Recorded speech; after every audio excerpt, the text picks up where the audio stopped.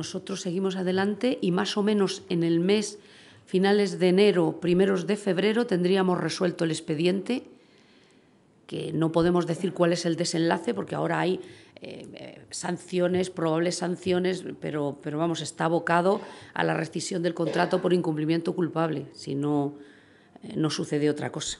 Ya he dicho varias veces que en nuestra opinión no ha estado bien gestionado el parking y, claro, la empresa quiere marcharse y, y extender la mano, ¿no?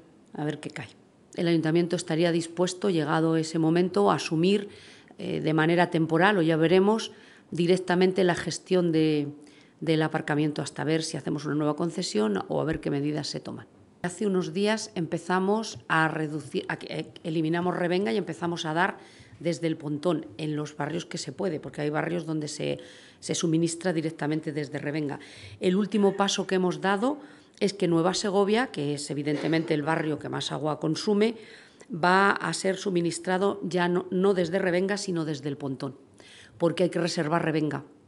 Revenga ahora mismo mm, no llega al 30%, y hay barrios que están suministrados directamente desde Revenga y no tienen la doble opción. Nueva Segovia sí, y por eso para reservar Revenga hemos optado por el pontón ya. El pontón está aproximadamente al 35%. La calidad es sin ningún problema para el consumo.